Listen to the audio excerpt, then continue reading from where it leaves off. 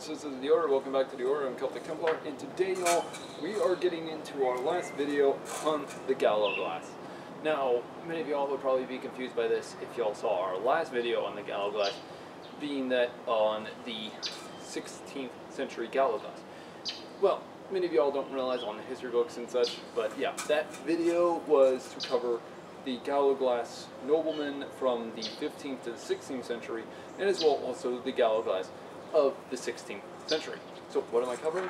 Well, I'm glad you asked. I'm actually covering that of the Gallowglass levy of the 16th century. And we actually see their equipment changed a lot. You will see me use various styles of weapons, such as one, the great sword, two, our Sparth axe, three, sword, buckler, targe, and throwing spears. Now I wanted to put in a uh, big spear for this one because there are accounts that do state they did use them, but there are also accounts that state they did not use them. So it varies from user to user. There are also accounts that even state that they even used archers in order to fight on the battlefield. But this is rare. In fact, there are also some accounts that state that the Gallowglass used matchlock firearms, but there are also accounts that stated that they despise the weapon. So I don't know which one is true or not. So I have to take various accounts into order. So what was the levy by the time of the 16th century in the Gallowglass ranks? Well, as you can tell, their equipment escalated financially because one, the Gallowglass were being hired by many Irish nobles in order to fight against the English, especially that of Queen Elizabeth herself, who dismantled the Gallowglass sometime by the, before her death. And as well, King James even stated to make them outlaws of the realm if they so much as dare, well, fight back against English rule. Now, many of the Gallowglass levy at this point in time were of that of, well, the commoners of the region of Ireland. And many times over, many of the Irish actually used uh, different variations of weapons. In fact, many times over, there are many accounts that Irish kerns uh, made up of the Gallowglass ranking units. Now, Gallowglass, in this point in time, by the levy units, had different type of equipment. It depended pretty much on their wealth and status. However, if none of y'all know, uh, the Irish um, kerns were somewhat of the regular style warriors. They could afford a sword and shield-like weapon, as well uh, a form of buckskin armor. But that depended on if they wanted to or not. Now what I'm also wearing is a liet or lacht, which is a form of Irish wear, that of which was quite commonly seen in Celtic regions such as Ireland and Scotland. Now the one I'm wearing is short, it's like about yay high. Now some historian, now I'm already going to hear a lot of y'all saying, oh Templar, you should wear a longer one that's down to your knees. Well, that's the thing. It depended pretty much on, well, the way you wanted it. And the fact is, this was actually the most common of clothing in Iron in Ireland. And the fact is, this would have been of very high fashion. In fact, here's the thing. This is such a high fashion type of way of showing off to say, hey, I'm in the fashion sense. Look, we're copying and such. um, this would be used throughout Ireland pretty much from around all the way to the end of the 16th century. And the reason being is because one, the Irish were told to become more English-like. In other words, to get rid of their culture. In fact, even Anglo-Irish, the nobles who adopted this design of culture and such of their, well, uh, holdings in Ireland, they were told to get rid, be more English, or give up their title. You can see what they did there. So, yeah. Now, many of y'all would automatically start to ask, well, Templar, why do you wear such a short one when uh, you obviously see in many pictures and historical manuscripts that show them being longer? Well, that's the thing, though. There are also other pictures and images that actually show them about yay big, about down to here. In fact, there is this image right here of this guy right here, as we see, uh, he actually is wearing nothing more than that of a said, well, two type of tunics. We see him wearing an inner tunic like this, and we see him wearing an outer tunic like this. So the fact is, it would have depended pretty much on what they preferred on the length. So uh, this person would have preferred that length, this person would have preferred that length, so it depended pretty much on the user. So yeah. Now, Gallowglass Levy by this point in time period were expert fighters on the battlefield. There are many accounts that state while fighting in the ranks and forces of the of battle, it's actually stated that Irishmen, uh, Irish nobles and such, would have hired them in such a manner that they could afford, now a levy could afford mail. Now, there are accounts that state that they would have first gone with something that protected their neck, rather than go down here first, because one, they could have used a Scottish targe. In fact, the majority of the uh,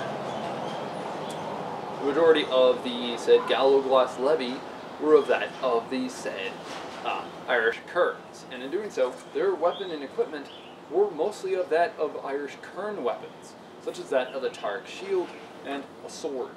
Now, there are also accounts that state that they mostly would have preferred using javelins rather than go to the great axe, but honestly, as soon as they go to it, you can see how devastating this would have been on the battlefield. There are accounts also that state they even used a Targe strapped on shield with their sparth. So you'll see me do that very soon in the video.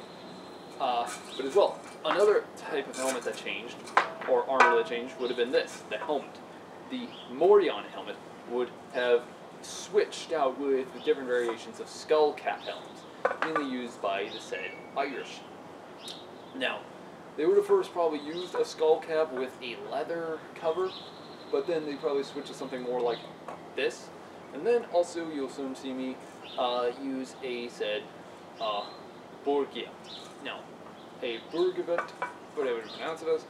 The, these English helmets would have been the most common, but not exactly the cheapest, as these were. Which, reason being this was cheaper was because one, this was technically like that of a kettle helmet. You, and I could see why the Irish would have, uh, the said Gallowglass Levy would have preferred wearing this over the Burbot. It would have been cheaper, and you would have also had the same amount of protection.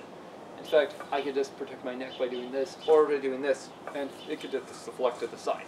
So we can see why they would have preferred this. So, enough talking. How about we get right into this, shall we?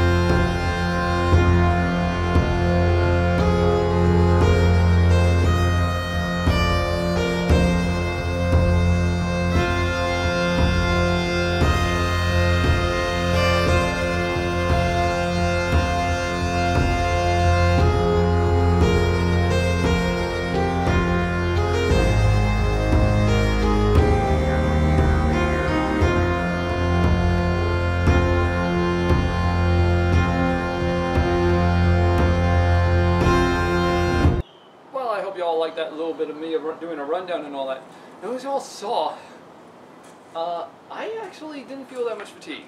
Uh, I was moving pretty good for a bit, and the only problem I had was one, the Irish clothing kind of got tangled with some of the equipment, so that's probably the only downside I had.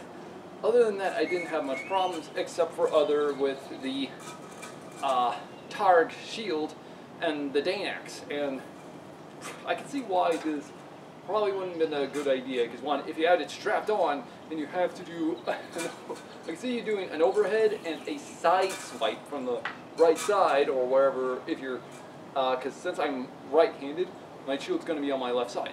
So in doing so, I had to do mostly right side swings. So if I did the left side, it's not going to end well. Uh, so I can see why. So I would have probably seen them probably uh, use, say, a strap or whatever when they had it, uh, when they weren't using the charge. Other than that, I would still see them probably using various styles of use of using the said two-handed style axe. Now, as I, as most of y'all saw, I moved incredibly quickly, and that's because one, I'm not wearing a gambeson, I'm wearing a felt jacket underneath. Now, felt jackets, or in this case, woolen jackets, were uh, probably the most major thing they wore underneath this. Now this is if you, because I can actually uh, see how this actually was worn mostly by the uh, lower class levy units, because one, they probably couldn't have that, that much account of using gambeson. And since they were mostly of Irish kerns, we could see that they would have preferred to wear light equipment underneath the mail. So in other words, no gambeson, but that of felt jackets of wool. And th there are many accounts that actually state that felt jackets were uh, protective enough to stop cutting weapons like swords. However, the blunt impact of, say, like an axe, for example, we can see why many Gallowglass uh, levy units preferred to wear mail underneath this. But we can see pretty much different variations, but still. Now I hear many people already asking, but Templar, you look like a Gallowglass. Well, that's the thing. Most of the time, I was. But Gallowglass levies were such a rare occasion at this point in time, and most of the time, they got confused for actual Gallowglass. So many of y'all would ask, okay, well, what's the difference between a Gallowglass levy and a Gallowglass during this point in time? One, they have not been, I don't know how I could put this into words, but the most modern English tongue I can use for this would be knighted. Now, it's not the, the count that they were knighted, it's, it, it, I wouldn't say knighted, it's, but the Gallowglass didn't have a word for what it's called, so the best way I can put use for it is not being knighted into the folds of the Gallowglass. In other words, you pretty much have to go through an oath. But the problem is, so many Irish kerns uh, got into the ranks of the Gallowglass so quickly by the time of the 16th century, there are some accounts that actually state that there were many Gallowglass units that were, or supposed Gallowglass that were Gambeson that were actually Irish kerns. So we don't have much information on. But still, what do y'all think? The Gallowglass levy not get that much attention because I certainly feel like they don't because one, I would have loved to use a elongated spear out here or uh, arrow, a bow and arrow, but the problem is, one, to the major fact, we don't have much evidence to prove whether or not, if they did or if they didn't, wear something like this. So, until we can, I am going to have to pretty much, uh, well, mostly do it in the in our changing room, so that way you can see on what they could have actually looked like if they did use it or not. So yeah. Uh, but still, what do y'all think about these weapons that they used. Honestly, to my best opinion, to my best approval, I think the Sparth axe mixed in with this equipment would have been such light and effective combat effective. It would have been perfect for the battlefield. Now, this is coming to the fact that one, we will hopefully get into the Irish kingdoms hopefully soon. Uh, but yeah, but what I'm going to end up doing is go from pretty much the very beginning of said cultures such as like say Ireland. I'm going to have to start from the said our best accounts and approaches from history from the, about them to pretty much the uh, first century B- AD, so that way we can get a better estimation on information. Before we can later go to other centuries. So in other words, we're going to go pretty much from early cultures, such as like say a Bronze Age culture, like say Rome, for example. We're going to pretty much redo our Roman series from the Roman kingdoms all the way, like from the Roman kingdom of Rome to the fall of Constantinople. That means we're also going to go back to our Varangians, and we're going to do different variations of Varangians. But as well, y'all, we will be doing a how-to voting very soon after our uh, after our uh, uh, redoing history video, and apparently y'all chose uh, what if the Western Roman Empire never fell. So we're gonna see on what goes there. Now, I want to put this out here, y'all. I was wanting to also do a video, a reaction video to Thegn Thrand's newest video on the Khopesh. The sad part of it is apparently YouTube wouldn't allow me for some weird reason. I don't know why. I'm still trying to understand that. So hopefully I can get it out by next weekend before we can get to the redoing video. But that also brings me up to my next topic. Thegn Thrand is already in the process of losing his house. He's being evicted from his home, y'all. He needs our help as best as we can. I am sending him as many uh, type of homes that he can afford so him and his family are not out on the streets and such because one y'all we can't allow that to happen to Thegn Thrand because one help him out as best as y'all can I will leave links down below on where y'all can help him out in the description area so go and help him out on Spotfund and such that way we can help him out as best as we can y'all anyways guys like and subscribe for more if y'all have a warrior in history y'all want me to cover please let me know down in the comments below we will be getting right into that hopefully very soon now, because I could already hear many of y'all saying, you should do the Irish current of the late century. Well, we'll get to them soon. But hopefully soon we will get to later Ireland in history. But all in all, y'all, hope to see y'all in the next one. Have a great day, y'all.